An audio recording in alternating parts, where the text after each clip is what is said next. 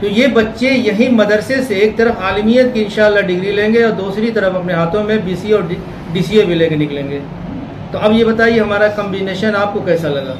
ये हमारा कम्बिनेशन ऐसा होगा कि मसल्ले पर एक इमाम जब जाएगा और जब पलट कर कंप्यूटर की बात आएगी तो वहीं पे लैपटॉप पे दीन की सारी बातें निकाल कर दिखा देगा कि ये देखो फला पारे में फला चीज़ ये मौजूद है फला हदीस ये मौजूद है।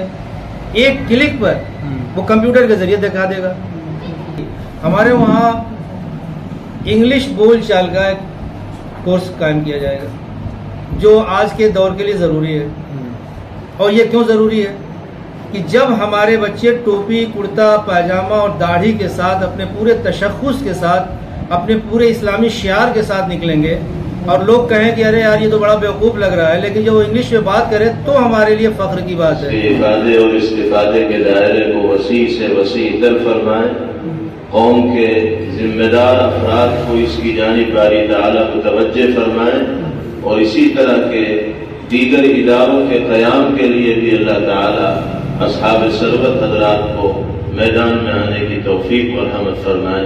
व आखिर दावाना अलहमदिल्ला बुराई नहीं करेंगे हर एक की तवालो हर एक की तारीफ़ आप करेंगे तो आपके बच्चे तारीफ़ वाले निकलेंगे। आप बच्चों के सामने सजदे वाले न बने, तालीम हाथ देने के वक्त उसको अल्लाह की रबूबियत और हक का पैगाम उसके दिल के अंदर ऐसे उतार दे, जैसे रूबजा किया जाता है।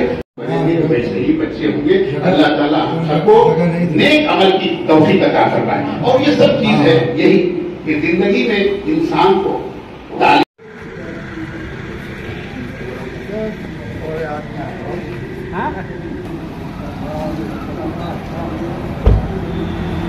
इसी तरह से ज़िंदगी के लिए तालीम भी हासिल करना फ़र्ज़ है फ़र्ज़ आयन है, वरना उसकी ज़िंदगी बेकार है। और चूँकि तालीम गुजारों वक्त दे दिया, हमारे लिए बड़ी सआदत की बात है। एक बात आप हजरात को ये बताना था कि ये इदारा इसीलिए कायम किया जा रहा है कि असली उलूम की भी तालीम इसी में हो।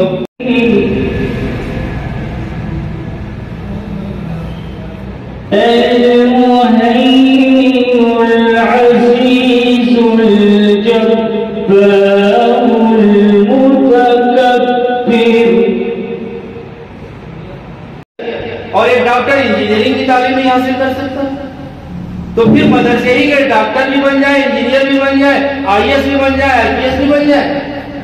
रहने दीजिए, मदारिस के तलबा को, मदारिस के इकराम को अपनी खिदमत करने दीजिए, इसी से दीन ज़िंदा रहेगा। आज हालात देख लें, हमारे कॉलेजेस खुलते चले जा रहे हैं, लड़कियों के बहुत ज़्यादा। एक बात और भी आ रही है, मैं बड़ी जुरत के साथ कर रहा हूँ, बहुत ही माजरत के साथ, कि बहुत सारे कराम असरी उलूम के कॉलेजों में जब जाते हैं, हम हजरात हम लोग पूरे जिला, पूरा शहर मुंतजिर रहता है कि कब ये शख्सियतें हमारे बीच में आ जाए और हम लोग अपनी वही लोगों से अपनी बरकतें हासिल करें। आप बरकातूम हमारे बीच में तशरीफ़ फरमाए, हज़रत मौलाना अब्दुल रब साहब नाजिम आला अनवारुल जहानागंज सदर जमीयत उलमा उत्तर प्रदेश और हज़रत मौलाना अब्दुल हई साहब नाजिम आला मंबउल उलूम सदर जिला मऊ जमीयत उलमा हिंद मकसद है वो सब आप हजरात के सामने आ चुका है हज़रत कराम पहले से आपके दरमियान तशरीफ़ फरमा है और मौजू से मुतल गुफ्तु फरमा रहे हैं। और ये हकीकत है कि मौजूदा हालात में ऐसे इदारों का क़याम ज़रूरी है कि जिसमें इस्लामी माहौल में नस्ल नो को असरी तालीम से रोशनास कराया जाए। ये बड़ा खुशाइन कदम है कि आपके इस ज़िले में एक ऐसा इदारा कायम होने जा रहा है जिसमें इंशाल्लाह मुस्तबिल करीब में बच्चों को इस्लामी माहौल में असली ूम से आरास्ता किया जा अभी जो बात आपके सामने आई, कि ऐसे इदारों का क़याम बहुत ज़रूरी है, कि जहाँ बच्चों को तालीम के जेवर से आरास्ता किया जाए। इसलिए कि तालीम ही वो जौहर है कि जो इंसान को इंसान बनाता है। तालीम को आम करने के मकसद से इस इदारे की दागमेल डाली गई है। हमें उम्मीद है कि ये तरक्यात से मालामाल होगा बच्चे इससे मुंसलिक होंगे जुड़ेंगे और वो इल्म के जेवर से आरास्ता होंगे। ठीक है शुक्रिया।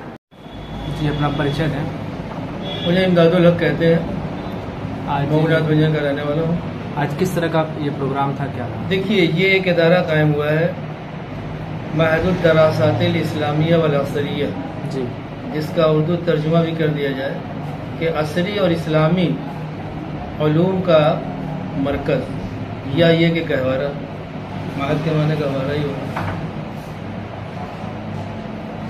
इसका मकसद ये है कि बहुत सारे लड़के जो मदारिस में पढ़ते हैं अवलन तो एक मदारिस में तादाद बहुत कम है पढ़ने वालों बच्चों की। मैं एक डाटा पेश कर दूँगा आपको। कि इस वक्त पढ़ने वाले जो बच्चे हैं हिंदुस्तान के अंदर वो सिर्फ़ 20 परसेंट हैं।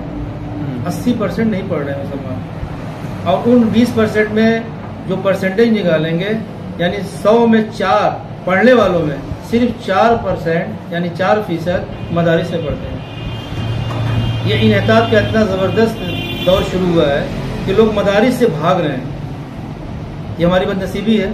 हालाँकि कराम और मदारिस के नौजमा आखिर वजह क्या है इसकी कि बता रहा हूँ मदारिस के नौजमा मदारिस के कराम पूरी पूरी कुर्बानी दे रहे हैं। यहाँ तक कि पाँच हज़ार की एक बिल्कुल कलील तनख्वाह पर दीन की खिदमत करने के लिए लोग तैयार हैं।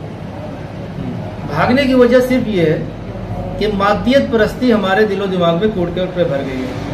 हम ये सोच रहे हैं कि हम ऐसा इल्म हासिल करें कि दुनिया कमा लें दौलत कमा लें। हालाँकि हम मुसलमान हैं हमें अल्लाह ताला ने कल में ला मुहम्मदुर रसूलुल्लाह पढ़ने की तोफीक दी। मुसलमान घर में पैदा हुए हमने कलमा पढ़ लिया। कलमे की हकीकत हमें नहीं मालूम। आज की नस्ल को बिल्कुल नहीं पता कि कलमा पढ़ लेने के बाद क्या क्या तकाजे हैं। असल तो हमारे लिए आखिरत है। और दुनिया तो मुकद्दर है। अल्लाह ताला ने हर इंसान के लिए मुकद्दर में दुनिया रख दी है। दीन मुशक्क़त से आता है और दुनिया मुकद्दर से आती है। हमने मुकद्दर ही को पीछे कर दिया। जबकि मुसलमान आमन तो बिल्ला व मलाइकती व कुतुब व रसूल वल यौमिल आखिरत वल कदर खैर ही व शर ही मिन बादल मौत। इसमें खास बात है कि अच्छी और बुरी तकदीर अल्लाह ही की तरफ़ से है और मरने के बाद की ज़िंदगी भी मिलनी है। हम इसी को पढ़ने के बाद मुकम्मल मुसलमान होते हैं। लेकिन हम, हमारे वालदेन या हमारे सरपरस्त या कॉलेज और स्कूल के लोग इस पर बिल्कुल तवज्जो नहीं दे रहे कि हमारी असल ज़िंदगी है क्या? जब दुनिया मुकद्दर में है और इल्म हासिल करना इसलिए है कि हम अल्लाह को पहचाने। हमारे लिए फ़र्ज़ है कि हम अल्लाह को पहचाने। अल्लाह ने दुनिया क्यों बनाई? हमें क्यों पैदा किया? हम, हमसे अल्लाह ताला दुनिया में क्या लेना चाहते हैं? इंसानियत। और इंसानियत आएगी दीन इस्लाम से। क्योंकि पेशाब पाखाने से लेकर मरने के वक्त तक जितनी भी ज़िंदगी की जरूरियात हैं, सब इस्लाम ने बता दी। हादिस में तो मौजूद ही अल्लाह ताला ने कुरान पाक में भी सारी चीज़ें पहुँचा दी। आज मैं इस जिम्न में आप जब इंटरव्यू मेरा ले रहे हैं तो मैं बता दूँ कि हमारा हाल दीन से दूरी का ये हो चुका है कि नौज बिल्ला हम लोग हुकूमत पर इन्हिसार करके बैठे हुए हैं कि हुकूमत बदल जाएगी तो हमारे हालात बदल जाएँगे। जबकि हदीस कुदसी है कि अल्लाह ताला कह रहे हैं कि तुम मेरे अहकाम को नहीं मानोगे तो मैं तुम पर जालिम हुकूमत मुसलत कर दूँगा। अब अगर ये जालिम हुकूमतें हैं तो ये हमारे अपने अमाल हैं। हमें अपने अमाल दुरुस्त करने हैं। कुरान पाक में एक जगह अल्लाह ताला ने इरशाद फरमाया कि तुम ही सरबलंद रहोगे, तुम ही सुरखरू रहोगे अगर तुम मोमिन हो, मुसलमान नहीं कहा, मोमिन कहा। हम मुसलमान और मोमिन में बड़ा फ़र्क है। कलमा पढ़ लेने के बाद हम मुसलमान तो हो गए, लेकिन मोमिन वो है जो तकवा अख्तियार करें। हर चीज़ पर अल्लाह ताला पर भरोसा करें। हर चीज़ के लिए अल्लाह ताला पर भरोसा करें कि जो कुछ भी हो रहा है वो अल्लाह की तरफ़ से हो रहा है। हमें जद्दोजहद करनी है दीन की तरफ़ जाने की। कारोबार भी मिल जाएगा। तो अब ये इदारा इस मकसद ही के दर कायम किया गया है कि हमारे हमारे बच्चे मुकम्मल मौलवी होकर निकलें लेकिन जो उनको मस्जिद का लोटा कहा जाता है ऐसी नौबत अब ना आवे। उन्हें इतनी अंग्रेज़ी पढ़ा दी जाए कि जब वो रोड पर निकले और उन्हें किसी किताब फॉर्म वगैरह भरने की ज़रूरत पड़े तो वो अंग्रेज़ी में भर लें। मैं एक बात अपने जहन से ये कहता हूँ मेरा अपना जो मुशाह है तजर्बा है कि हमारे मदारिस के तलबा के अंदर इतनी जहानत होती है कि यूनिवर्सिटी में पढ़ने वाला जो बहुत बड़ा साइंटिस्ट हो जाता है उतनी जहानत नहीं होती क्योंकि मैंने दोनों इदारे देखे हैं। अल्हम्दुलिल्लाह जो लड़के हाफिज कुरान हो जाते हैं उससे ज़्यादा जहन दुनिया में कोई हो ही नहीं सकता। ये मैं चैलेंज के साथ कहता हूँ। इस तो ऐसे टेक्नोलॉजी बच्चों के इस टेक्नोलॉजी के दौर में आपके इदारे की तरफ़ से क्या कुछ हमारे इस टेक्नोलॉजी के दौर में बहुत ज़्यादा हम लंबी बात तो नहीं करेंगे लेकिन इब्तदाई हमारे वहाँ इंग्लिश बोल चाल का एक कोर्स कायम किया जाएगा जो आज के दौर के लिए ज़रूरी है। और ये क्यों ज़रूरी है? कि जब हमारे बच्चे टोपी कुर्ता पायजामा और दाढ़ी के साथ अपने पूरे तशखुस के साथ अपने पूरे इस्लामी शियार के साथ निकलेंगे और लोग कहें कि अरे यार, ये तो बड़ा बेवकूफ़ लग रहा है, लेकिन जब वो इंग्लिश में बात करे तो हमारे लिए फख्र की बात है। कि ये मदरसे से निकला हुआ हाफिज कुरान, ये मौलवी अंग्रेज़ी में भी बात कर सकता है। क्योंकि अंग्रेज़ी बोलना कोई बहुत बड़ी बात नहीं है भी एक लैंग्वेज है। जैसे उर्दू बोल लेता है कोई, जैसे हिंदी बोल लेता है, संस्कृत बोल लेता है, वैसे अंग्रेज़ी बोलना है, कोई बहुत बड़ी चीज़ नहीं है। लेकिन अंग्रेज़ी को इतना हवा बना दिया गया, इसलिए कि इंटरनेशनल ज़ुबान हो चुकी है। दुनिया अच्छा, एक सवाल एक सवाल और आपके इदारे में आपने कहा कि इंग्लिश की अहमियत बढ़ाई जाएगी थोड़ा सा। तो ऐसे में बहुत से ऐसे संस्थान हैं जो सिर्फ़ इंग्लिश सिखाते हैं। तो उनको किस तरह से देख रहे हैं? क्योंकि क्योंकि- आप भी वही काम कर रही है। चूँकि अलग अलग संस्थाएँ हैं। जी। मदारिस के बच्चों को मौका नहीं मिलता। क्योंकि बहुत सारे इदारे आज भी हैं जो सुबह से दोपहर चलते हैं और दोपहर बाद दोपहर के बाद से असर तक चलते हैं। अब बच्चों को अपने घरेलू काम भी करने होते हैं। अब उसमें ट्यूशन कैसे करेंगे? बहुत सारे गरीब लड़के हैं जो हज़ार रुपया महीना नहीं दे सकते। तो ऐसे लड़कों को इसी इदारे के अंदर निसाब में कोई तरमीम नहीं है। दीनी निसाब में कोई तरमीम नहीं है। बस एक इजाफा है, बजाय पाँच घंटा पढ़ाने के, हम छः घंटा पढ़ा देंगे। या पार्ट टाइम उन बच्चों को पढ़ा देंगे। तो कंप्यूटर की पूरी इब्तदाई ट्रेनिंग होगी कंप्यूटर कैसे चलाया जाता है? लैपटॉप मोबाइल कैसे चलाया जाता है? क्योंकि ऑनलाइन का ज़माना आ चुका है तो इन बच्चों को इब्तदाई मरहले में ये बात बताई जाएगी। उसके बाद एक होता है डीसी का कोर्स डीसीए होता है और एक बीसीए होता है। डीसीए होता है डिप्लोमा इन कंप्यूटर एप्लीकेशन और बीसीए बैचलर डिग्री है। बैचलर ऑफ़ कंप्यूटर एप्लीकेशन तो ये बच्चे यही मदरसे से एक तरफ़ आलमियत की इंशाल्लाह डिग्री लेंगे और दूसरी तरफ़ अपने हाथों में बीसीए और डीसीए भी लेके निकलेंगे। तो अब ये बताइए, हमारा कम्बिनेशन आपको कैसा लगा? ये हमारा कम्बिनेशन ऐसा होगा कि मुसल्ले पर एक इमाम जब जाएगा और जब पलट कर कंप्यूटर की बात आएगी तो वहीं पे लैपटॉप पे दीन की सारी बातें निकाल कर दिखा देगा कि ये देखो फला पारे में फला चीज़ ये मौजूद है फला हदीस ये मौजूद है। एक क्लिक पर वो कंप्यूटर के ज़रिए दिखा देगा। ये हमारा मकसद है। कहाँ पर है ये संस्था आपकी ये गालिबपुर एक कस्बा मौजा है छोटा सा इलाका है। बहुत सारे लोग सवाल कर सकते हैं कि शहर मऊनाथ भंजन जो मुसलमानों का गढ़ है जहाँ इदारे हैं या खैराबाद है या मोहम्मदाबाद है ऐसी जगहों पे कायम क्यों नहीं किया गया? या कोपा अदरी घोसी इतने इंटीरियर में इतने किनारे तो सच्चाई ये है कि हम अभी मौलाना से बता रहे थे यही बात कि एक जहन में बात ऐसी आई कि पूरे ज़िले का पहली नौ, अपनी नौयत का पहला इदारा है ऐसी जगह कायम किया जाए कि पूरे शहर का ये सेंटर हो। और आप खुद अंदाज़ा लगा लें, एक तरफ़ 10-12 किलोमीटर पर खैराबाद है, पीछे 15-20 किलोमीटर पर कोपा है, और इधर 15-20 किलोमीटर पर मऊ है। ये बिल्कुल सेंटर में है।